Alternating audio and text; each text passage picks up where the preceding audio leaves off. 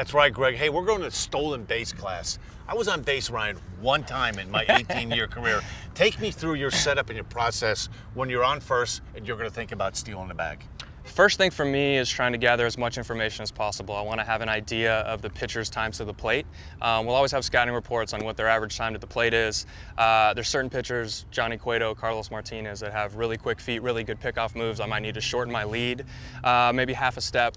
Um, also have an idea of who's catching, uh, have an idea of how they respond to balls in the dirt. Just try to be as prepared as possible. Uh, and then with my lead, I want to go off the backside of the bag, um, and I want to shuffle off. I don't want to cross over. If you cross over, sometimes you can get caught uh, as you're trying to get off the bag and it's harder to get back to the base. So you want to shuffle, shuffle, shuffle, and then with my feet, uh, I want to be in line with the back of the bag so that I could dive back, but also straight in line with second base so that I'm not veering off to one angle or the other. I want my right foot to be a little bit back behind my left foot so it's opened up and also face a little bit towards second base uh, to give me an opportunity to open my hips and try to be explosive as I, as I get started.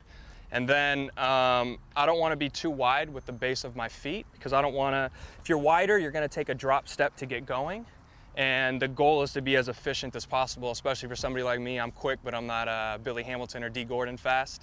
So I need uh, try to stay pretty narrow um, and explode off the backside, back leg, stay low for a couple steps and try to stay straight in line with second base. Obviously, I'm trying to get to the same place every time to not give away whether I'm trying to run or not. Uh, and I'm always trying to think that I'm going to steal the base because um, otherwise it'll look really obvious when you're actually trying to steal. Do you go in head first? Uh, almost never. I try okay. not to. I try not to slide head first. I think uh, there's too many things that can go wrong. Break a hand, a wrist. Um, if a guy puts his leg in front of the base, which guys tend to do at times, you slide feet first, they'll get out of the way. Okay. Um, or you'll knock them off the base. But if you slide uh, head first, then obviously you're going to end up hurting or jamming a, a, finger or your wrist, and you're not going to make it to the base. All right. If you're sliding the third, is it the same as second? You're on, you're stealing a bag. Are you pretty much going in to one side of the base or the other?